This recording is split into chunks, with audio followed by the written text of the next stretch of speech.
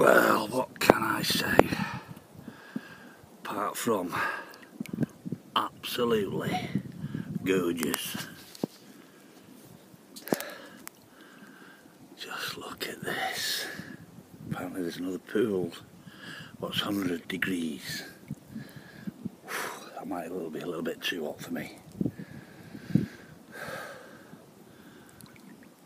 But natural springs. And all around here they've got these uh, polytunnels where they're growing all the veg because it's all like fucking goes mental, doesn't it? Because nice hot water like this, anything grows around here. But it's about 10 clicks away from my cabin number three. And you see this big orange glow in the air where they've got all the hydroponic lights on at the night. It's just like this one spot in the distance you can see, and this is all around here. These. This is like the hot spring in the middle of it. Let's have a bit of this.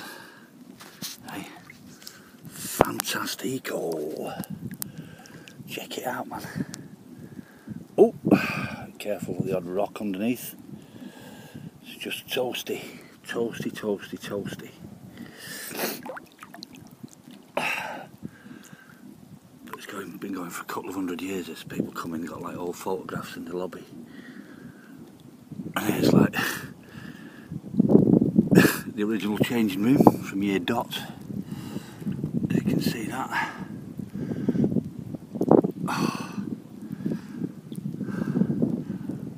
see over there, there's the greenhouses in the background with the polytunnels in. Pool just behind me, 100 degrees. That might poach me taters a bit too much, that. But anyway, just going to enjoy, soak it up. Lovely.